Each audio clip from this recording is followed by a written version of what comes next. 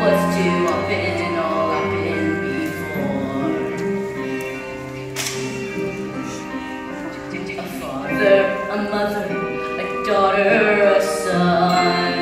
The threads of their lives are all routed undone. Something is needed to twist them as tight as a.